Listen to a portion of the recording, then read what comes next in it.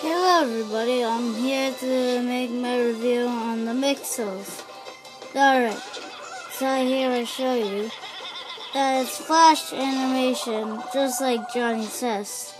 But this is better than Johnny Test because Johnny Test is just, they add a freaking sound effect every single second of the show.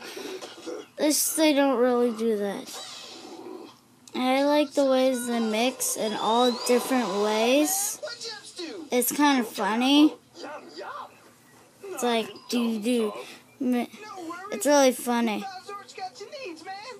It's like uh, fists, uh, other stuff, and also they have a bunch of food combinations like coconut apple or cookeroni or something. That's really that just sounds really disgusting, cookeroni. But whatever. A, if it, yeah, cookeroni sounds really disgusting, but whatever. And that are my thoughts on the Mixels. So bye, guys. The show's cool. Yeah, subscribe, like, and fave. Bye. Oh yeah, comment.